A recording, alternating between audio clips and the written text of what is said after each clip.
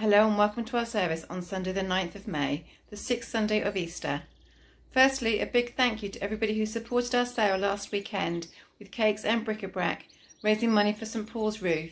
We raised over £300 and we'll be continuing with these sales the first Saturday of each month.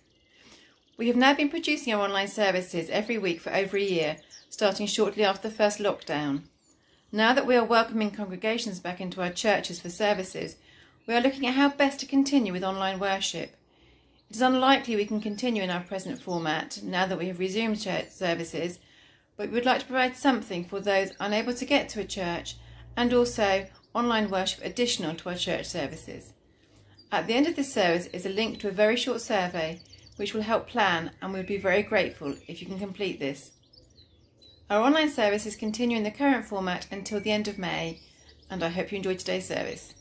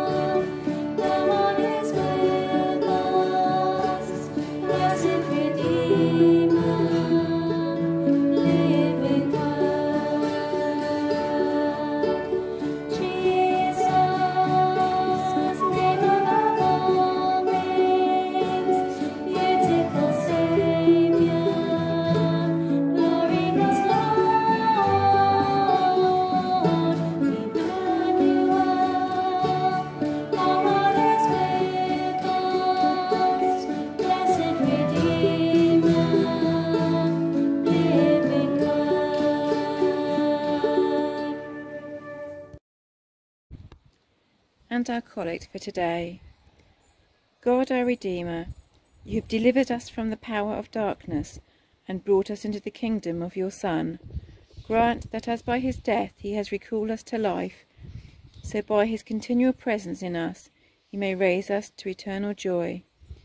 Through Jesus Christ your Son, our Lord, who is alive and reigns with you, in the unity of the Holy Spirit, one God, now and forever. Amen.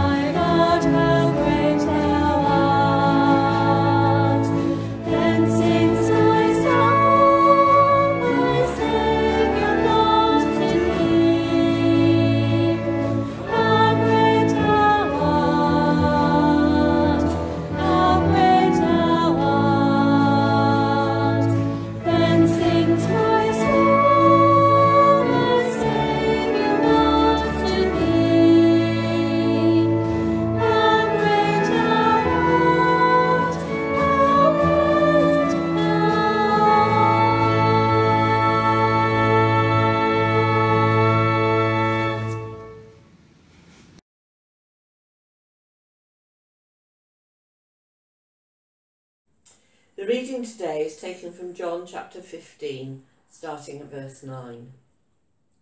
As the Father has loved me, so I have loved you. Now remain in my love. If you obey my commands, you will remain in my love, just as I have obeyed my Father's commands and remain in his love. I have told you this so that my joy may be in you and that your joy may be complete. My command is this love each other as I have loved you. Greater love hath no one than this, that he laid down his life for his friends. You are my friends if you do what I command. I no longer call you servants, because the servant doesn't know his master's business. Instead, I have called you friends. For everything that I learned from my Father, I have made known to you.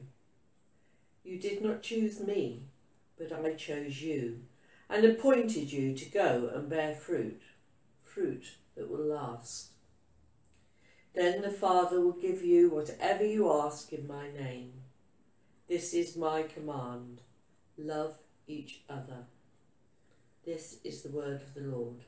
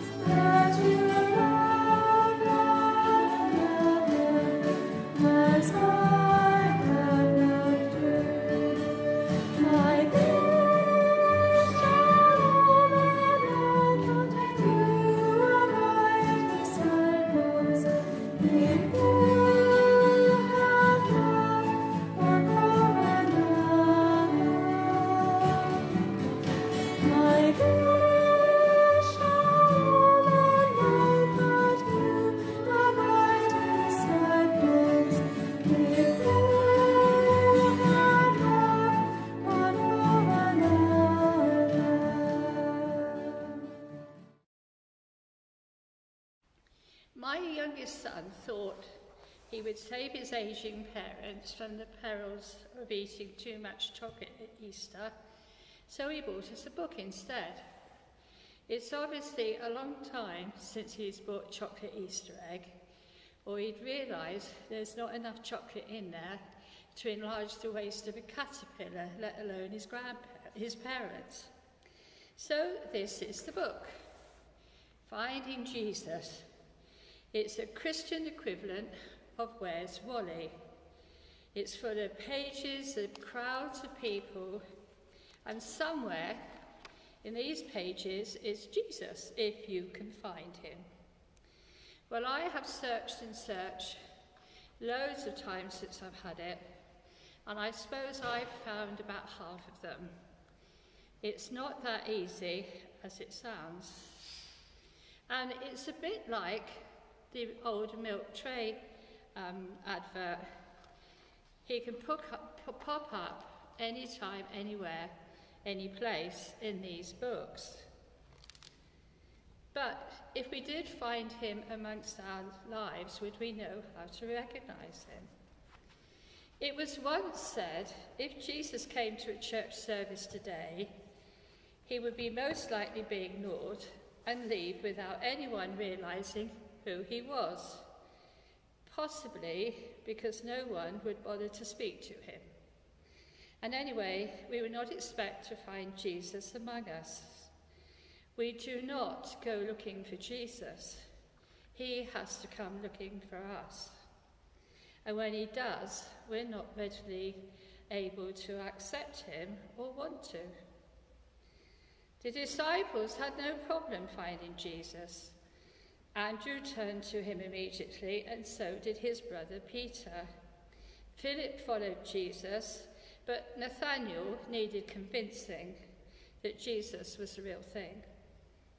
Paul persecuted him until he encountered Jesus on the road to Damascus, but immediately changed his life. Many of the crowds listening to Jesus realized he was someone special.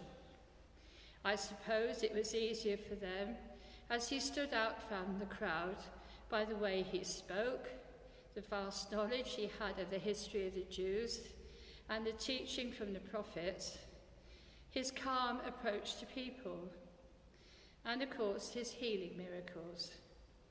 It was quite clear this was no ordinary prophet. And his one overriding message was of love from God to his people and from Jesus to his followers, and an encouragement to people to love one another. Of all the commandments given to the Jews by God, it was the two directly concerned with love that Jesus spoke of time and time again. To love God above all things and to love one another as you would love yourself. We can encounter Jesus when we least expect it.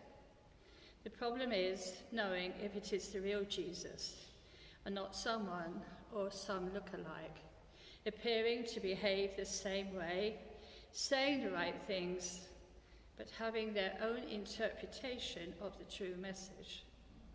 We have to be cautious of the people who use biblical text as a convenient way of putting moral pressure on people to do things.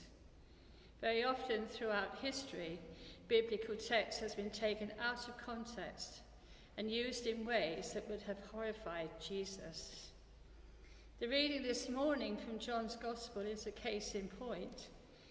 Jesus says, This is my commandment love one another as I have loved you. No love has greater than this, than to lay down his life for someone else. You are all probably aware of how this was used in the First War to persuade young men to enlist and end up sacrificing their lives because of the egos of senior officers. Now, I'm not going to stray into an anti war lecture, but use this as an example of an illustration of how easily text can be manipulated to suit a person's ideals and take away the original meaning. I think Jesus was telling them of his own sacrifice the next day when he would be crucified. He is doing it out of love for mankind and for our salvation.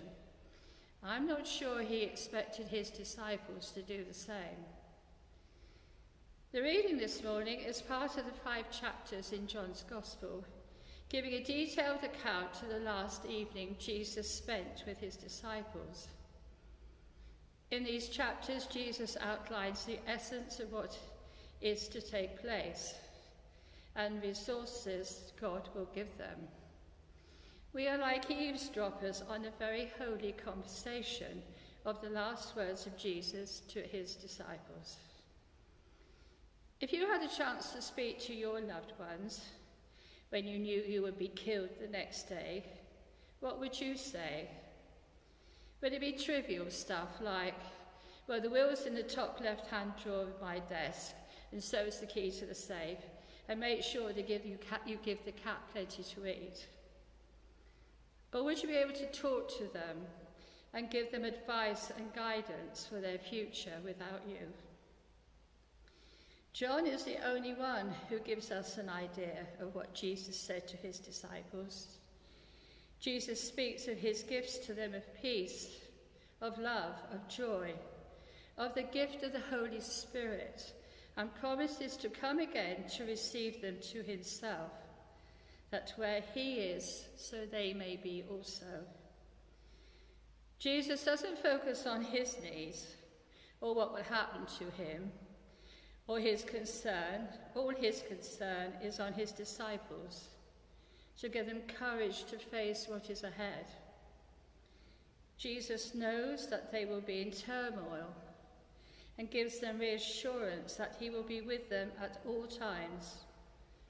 Not physically, but his spirit of love will be with them because he knows that is the purpose for which he was sent, to complete his Father's business on earth. One of the reasons the disciples managed to pull off the greatest growth of faith ever was by pulling together. They worked, prayed, stayed together. You cannot be a solitary Christian. We are meant to be a family, to live, worship, and pray together, and we cannot go it alone. Prayer is our strongest point as it leads us directly to Jesus and to God. And they respond if we allow them. The love and concern Jesus had for his disciples, he also has for us. He was willing to sacrifice his, love, his life for all of us and for salvation of the world. That is the true Jesus, and it was his love for mankind that led him to make that sacrifice. A false Jesus would not be willing to make sacrifices because they do not have the love from God or the immense capacity to share love with others. To find the true Jesus in the crowd, all you need is love. And that makes me sound like a very bad Beatle record. All you need is love. And to finish it off with a quote from Donkey in the film Shrek Feel the love. When you let the true Jesus into your life, you can feel the love that comes from him. When the church lets Jesus into its community and not the ideas of some of the members, you can feel the love of Jesus and of God in the building. That is why you cannot really be a solitary Christian. You need to feel the warmth of love that comes from worshipping in a community, to pray together, to worship together.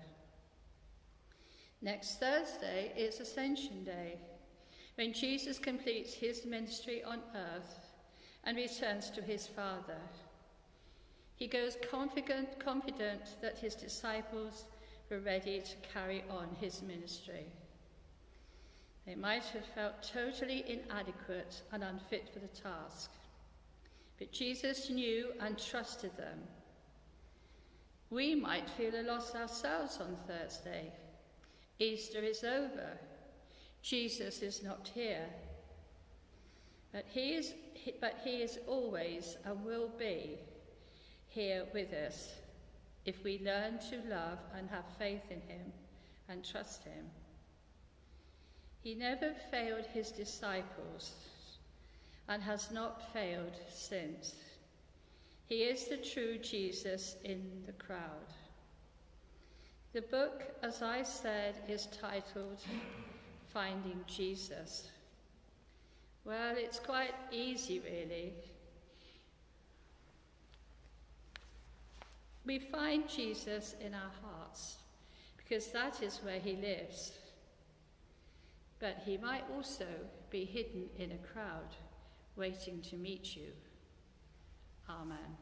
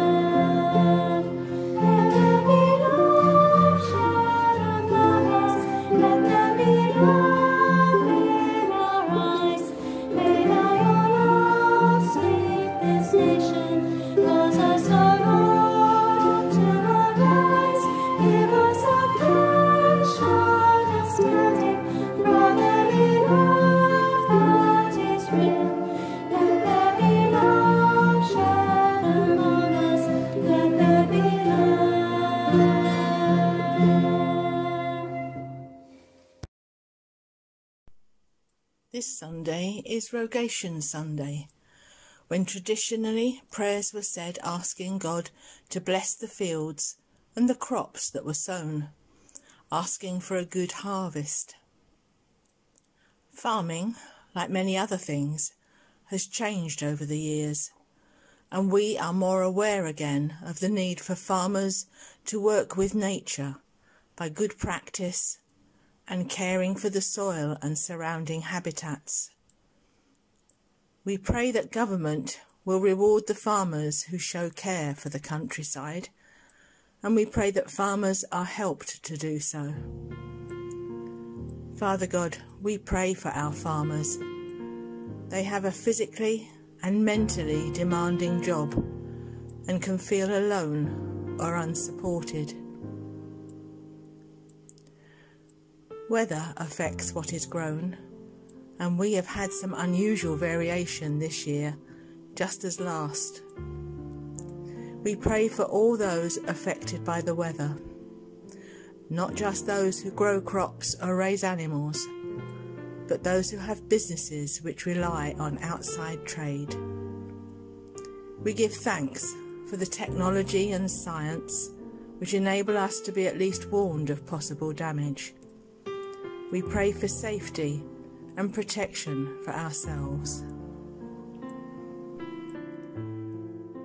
Simply, in this week's Gospel, Jesus commands us to love each other.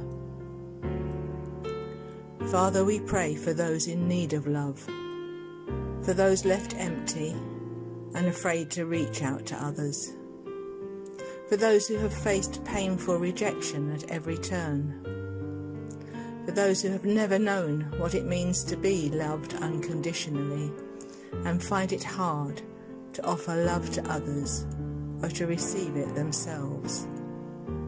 May the love of Christ bring them healing and hope. Lord, we pray for those whose consciences have been dulled and who have no sense of right and wrong those for whom kindness, love, and compassion are signs of weakness in a world where only the strong are allowed to succeed. We pray for those who give no thought to the pain and distress that they cause.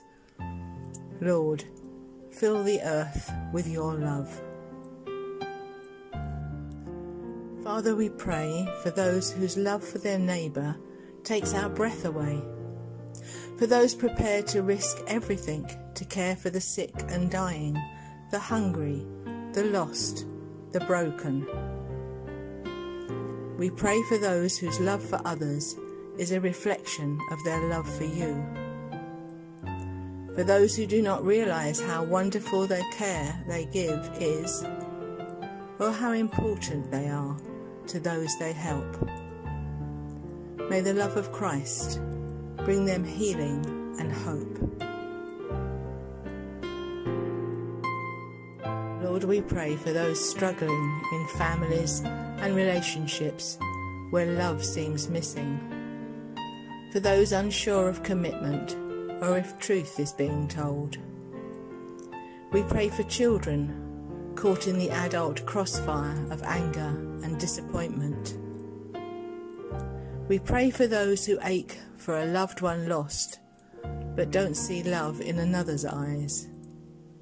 And those who simply yearn for a partner or friend to share love with. Father, fill the earth with your love. Father, we pray for people we know, particularly those people in need of your healing touch. We name them to you now in a silence.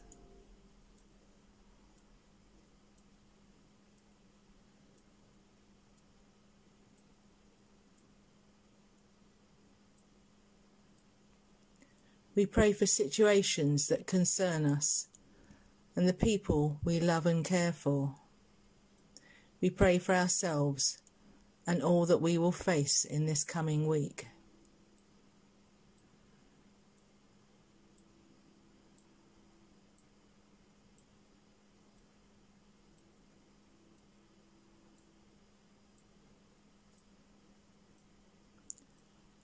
Have no fear, be in no doubt.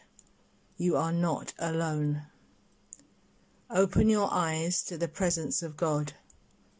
Open your ears to His word for you, and know He is guiding your feet. Receive His peace, and know His presence, and be filled with the Spirit. Confess that Jesus is Lord, and live in His love. Amen.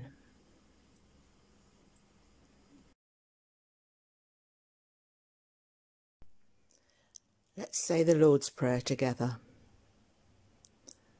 Our Father in heaven, hallowed be your name. Your kingdom come, your will be done, on earth as in heaven. Give us today our daily bread.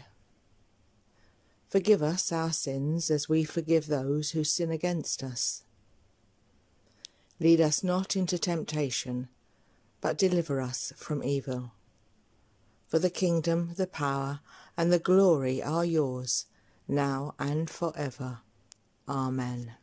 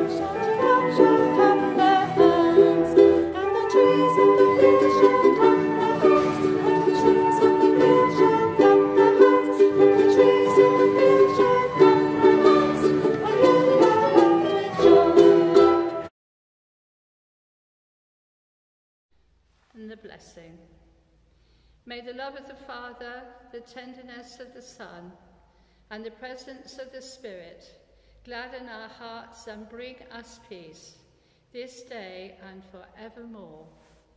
Amen.